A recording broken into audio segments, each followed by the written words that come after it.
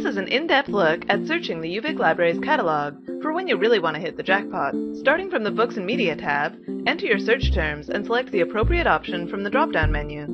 For this example, I'll leave it on Keyword Anywhere. You get better results if you use at least three search terms, and the more synonyms, the better. You can learn more about keyword searches in our video on search tips. This search yields 117 results, but I'd like to narrow it down to just books within the library, even though I have all these other options to choose from.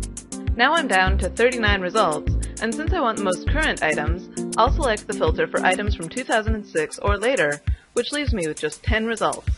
This tells me the book is available and the call number to locate this book. I can select multiple items to add to a list to print, export, or email and save for later.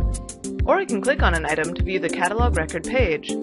From here, I can text myself the call number, or view other works by this author, or other works under the same subject headings.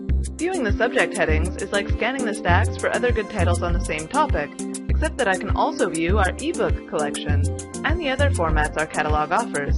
I can also click on Show Me Where to pop up a map of the library with instructions to the general area of my book, which is especially handy from the mobile app. To learn more, watch our videos on search tips, locating a book by call number, and any other videos that catch your eye.